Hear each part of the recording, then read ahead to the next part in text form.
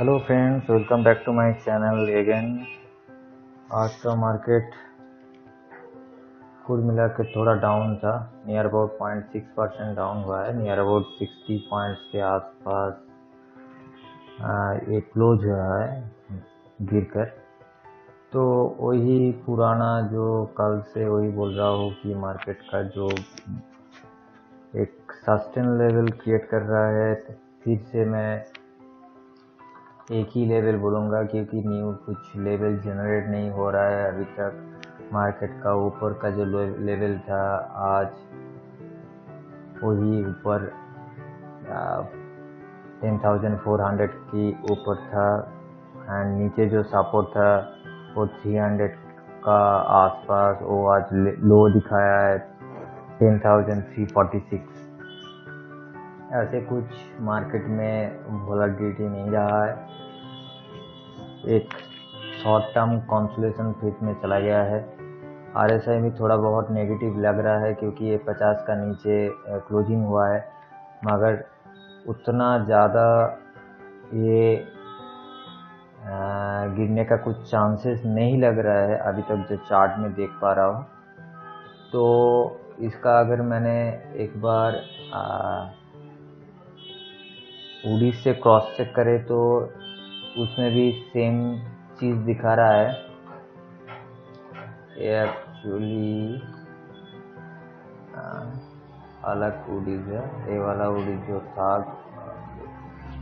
ये वाला चार्ट से भी हम लोगों को एक ही चीज़ पता चल रहा है कि थोड़ा बहुत डाउन मूड में चला गया है। हो सकता है कि यहाँ पर कुछ सस्टेन करे। मगर ये भी हो सकता है कि एक फ्लड वोलाटाइल जो मार्केट रहता है, उसमें से ही मार्केट कुछ दिन कॉन्फ्लेट करेगा, उसके बाद थोड़ा बहुत रिवर्स और बाउंस बैक मरेगा। जो भी मार्केट में जो भी इस प्लेस पे जो भी परचेज हुआ था, उसका थोड़ा प्रॉफिट बुकिंग होगा। एज पर सेंटिमेंटल हम लोग क्या करते हैं कि एक बार शॉर्ट टर्म शॉर्ट टर्म में एक बार प्रॉफिट बुकिंग कर लेते हैं, उसके बाद थोड़ा बहुत टाइम लेते हैं कि कब मार्केट थोड़ा समझ जाए उसके बाद हम नेक्स्ट पोजीशन ले सके। तो इस टाइम जो चल रहा है इसमें हम लोग यही देख पा रहे हैं कि मार्केट अभी जो सस्टेन जो लेवल है ये लेवल पर आगे सस्टेन करे तब मार्केट में थोड़ा बहुत ज़्यादा वॉल्यूम देखने आ, देखेंगे। उसके हिसाब से एक बार अपार जो रान है, उसको हम लोग देख पाएँगे। ये था आज का निफ्टी का अपडेट। ऐसे कुछ नहीं है कि निफ्टी में बहुत ज़्यादा गिरावट देख सकते हैं, क्योंकि ये जो मार, तीन घंटे का जो चार्ट में मेजरली देख लेता हूँ तो इसके हिसाब से अभी भी मार्केट में जो पोजीशन है, उसमें ऐसे कुछ पैनिक क्रिएट करने का कोई मार्केट का चार्ट ग्राफ रेडी नहीं हुआ है। हो सकता है कि ये जो, ये मेरा थोड़ा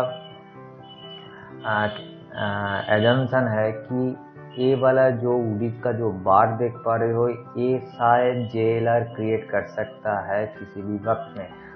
मतलब आप लोगों को टेन थाउज़ेंड थ्री हंड्रेड के करीब एक बार परचेज करना होगा एज पर रिस्क लेकर अगर ये ten thousand two hundred eighty के नीचे क्लोज हुआ, तब मेरा व्यू थोड़ा चेंजेस हो सकता है। मगर तब तक के लिए ये जो मार्केट है टेन थाउज़ेंड थ्री हंड्रेड के आसपास एक बार परचेज होना चाहिए। उसके बाद जो स्टॉप लॉस है, वो तीस पॉइंट चालीस पॉइंट का एक एक बार स्टॉप लॉस रख के फिर से हम लोग 200 पॉइंट्स का प्रॉफिट लेने के लिए थोड़ा वेट कर सकें।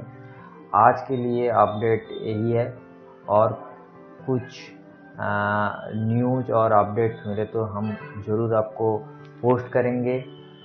आपको पहले से ही बता रहा था कि 34 जो लेवल है, इसके बीच में ही मार्केट घूम रहा है।